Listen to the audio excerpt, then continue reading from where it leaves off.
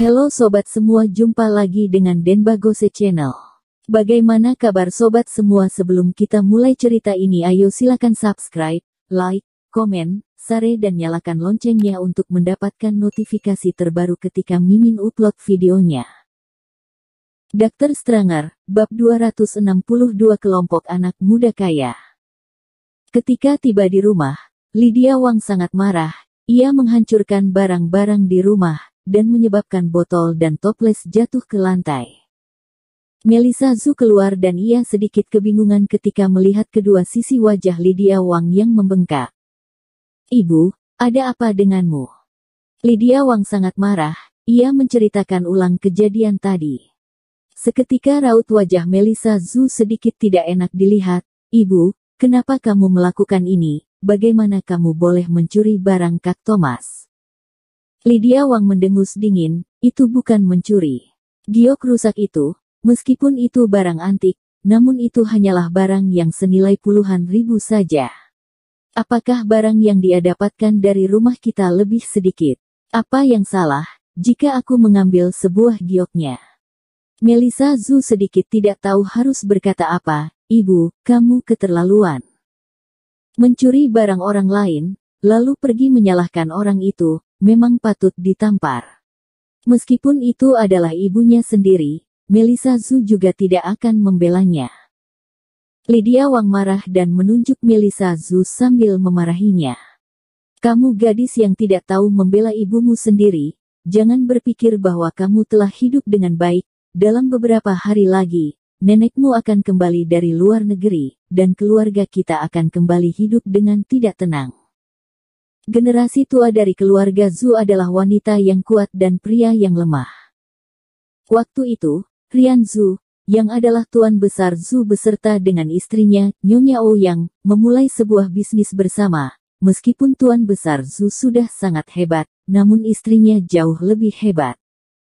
Zus Group memiliki beberapa nama di industri farmasi dalam negeri, namun, industri Nyonya Besar Ouyang sangat berpengaruh di dunia.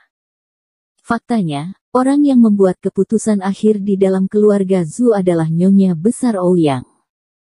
Sedangkan pamannya, yaitu sekeluarga Gael Zhu, juga menantikan kedatangan Nyonya Besar. Nyonya Besar itu sangat menyukai sekeluarga mereka, selama Nyonya Besar itu kembali untuk memimpin keseluruhan situasi, posisi semula miliki mereka, dapat diambil kembali oleh mereka. Melisa Zhu mengerutkan kening, Nenek juga seorang yang berakal sehat. Situasi dalam keluarga kita sekarang merupakan kesalahan Gael Zhu sendiri. Aku rasa, nenek tidak akan terlalu menyulitkanku. Sudahlah bu, jangan katakan lagi, aku akan pergi sekarang.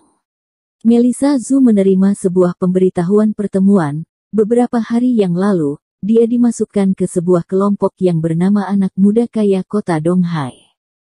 Mereka semua adalah anak orang kaya di kota Donghai saat itu, mereka sesekali bermain bersama ketika masih remaja. Di dalam kelompok tersebut, sebuah keluarga tertentu dengan sebuah keluarga tertentu mungkin memiliki hubungan pernikahan. Namun, setelah bertahun-tahun, semuanya sudah beranjak dewasa dan tidak lagi bertemu, sehingga kali ini, seseorang mengadakan sebuah pertemuan. Melisa Zhu awalnya tidak ingin berpartisipasi dalam pertemuan semacam ini, namun, karena ada beberapa orang di dalam kelompok itu memiliki industri yang bergerak di properti, dan belakangan ini, Melisa Zhu berencana membeli sebuah gedung untuk dijadikan sebagai gedung perkantoran baru Wenhe Pharmaceutical Co., Ltd., sehingga pertemuan kali ini bisa dianggap untuk membicarakan bisnis. Melisa Zhu melihat sejenak isi grup tersebut, dan sepertinya tidak ada Thomas Kin di dalamnya, sehingga ia juga memasukkan Thomas Kin ke dalam grup tersebut. Melisa Zhu mengundang Thomas Kin untuk bergabung dalam grup.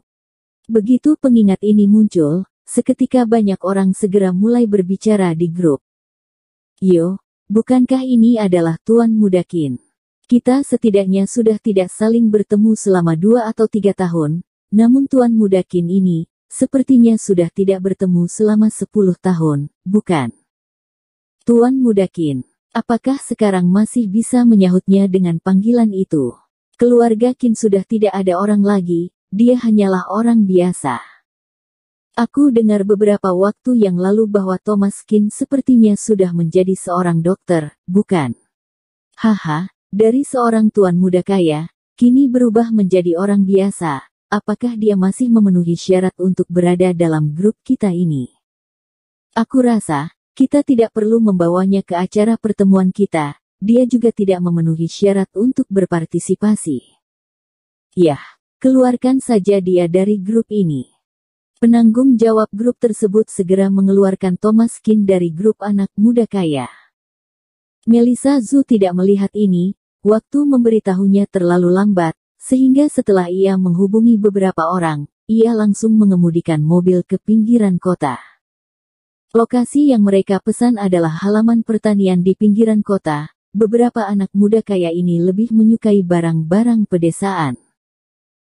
Dr. Stranger, Bab 263 Villa Dragon Pada saat Thomas Kin melihat ponselnya, ia sudah dikeluarkan dari grup, namun riwayat obrolan sebelumnya masih dapat dilihat.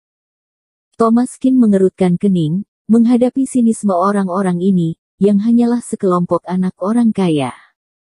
Saat keluarga Kin berada di masa jayanya, orang-orang ini seperti cacing, yang selalu ada di sekitar Thomas Kin. Sekarang, setelah keluarga Kin bangkrut, sekelompok orang ini mulai menjauh darinya, dan perkataan mereka cukup menusuk. Thomas Kin tentunya malas untuk menanggapi pertemuan semacam ini. Begitu Thomas Kin akan mematikan ponselnya, datang sebuah panggilan dari Axel Sun. Halo, ada apa? Saudara senior, adik kelima datang ke kota Donghai dan ingin bertemu denganmu. Thomas Kin mengerutkan kening, adik kelima. Guru menerima terlalu banyak anak murid saat itu, meskipun mereka semua adalah orang hebat, namun Thomas Kin tidak terlalu mengenalinya. Selain mengenal adik kedua, yaitu Juan Wang, dan adik ketiga, yaitu Axel Sun, Thomas Kin tidak terlalu tahu banyak selebihnya, bahkan Weston Meng juga baru diketahuinya belakangan ini. Axel Sun segera memperkenalkan, adik kelima bernama Sebastian He, ia memiliki industri yang bergerak di properti dan sangat berpengaruh di seluruh dunia. Beberapa tahun yang lalu, Bos dari Hes Real Estate ini pernah dinobatkan sebagai orang terkaya di China. Dia adalah seorang wanita karir. Sepertinya, Sebastian He lebih hebat dari Weston Meng. Meskipun Weston Meng juga hebat, namun ia hanya berada di peringkat 10 besar di seluruh negara. Sedangkan Sebastian He, ia langsung dinobatkan sebagai orang terkaya. Bagaimanapun, industri properti jauh lebih berkembang pesat. Thomas Kin berkata, boleh, bertemu di mana? Biarkan ia menghubungiku setelah menentukan lokasi. Baik. Setelah beberapa saat, datang sebuah nomor panggilan asing, sekilas, itu adalah nomor ibu kota, mungkin itu adalah nomor dari adik kelima itu. Halo. Halo, saudara senior, aku Sebastian He. Aku minta maaf karena saudara senior telah kembali begitu lama, dan aku baru menyempati datang ke kota Donghai untuk bertemu denganmu. Apakah saudara senior memiliki waktu luang? Bisakah kita makan bersama? Meskipun Sebastian He adalah orang terkaya, namun gaya berbicaranya jauh lebih sopan daripada yang lain. Aku bisa kapan saja, tentukanlah lokasinya, aku akan ke sana. Baik, aku memiliki beberapa properti di kota Donghai, ada sebuah villa dragon, tidak jauh dari pinggiran kota, aku akan mengirim seseorang untuk menjemputmu sekarang. Oke. Tidak lama setelah menutup telepon, seorang pemuda mengendarai sebuah Mercedes-Benz Maybach ke kediaman Thomas Kin. Tuan Kin, aku adalah supir CEO He, berilah perintah kepadaku, apa pun yang kamu perlukan. Thomas Kin mengangguk, dan masuk ke dalam mobil. Pada saat ini, di gerbang Villa Dragon, berhenti sederetan mobil mewah, seperti Porsche, Bentley, Maserati, dan Ferrari, yang pada dasarnya adalah mobil sport, standar mobil dari anak muda kaya.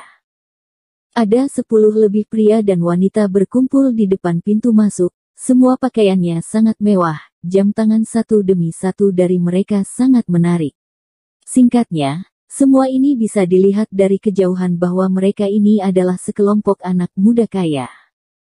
Setelah Melissa Zhu tiba, beberapa teman lama mengerumuninya.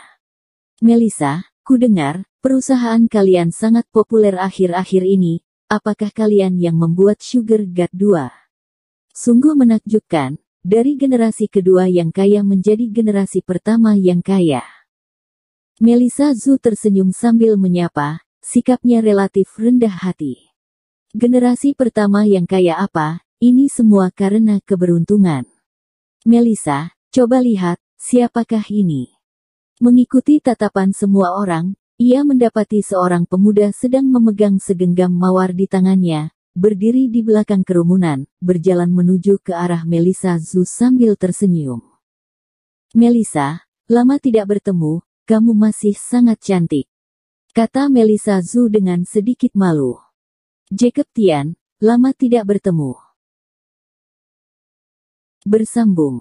Terima kasih kepada kalian yang telah menonton video ini. Jangan lupa tekan tombol subscribe-nya dan nyalakan notifikasinya untuk mendapatkan video-video seru lainnya dari channel Denbagose.